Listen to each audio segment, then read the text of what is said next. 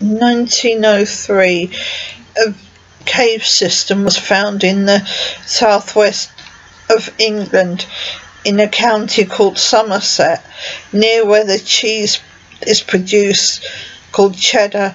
Anyway, um, this skeleton was found in the cave, and recently um, they did a DNA test on on on the skull, up, went up through the nose and drilled a hole and took the DNA from there.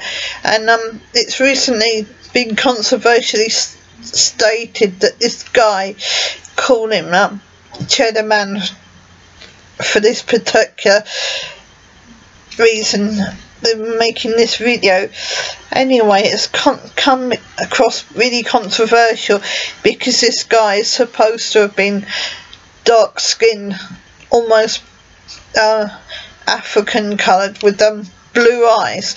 And um, why is it so controversial? Because people already know that the human race evolved in the central plains of Africa round about either Ethiopia or the Sudan. And um, there are several uh, portions of society that will be up in arms when this programme airs on British television. I think it's Sunday night about nine o'clock English English time zone. That's um, GMT or Greenwich Mean Time.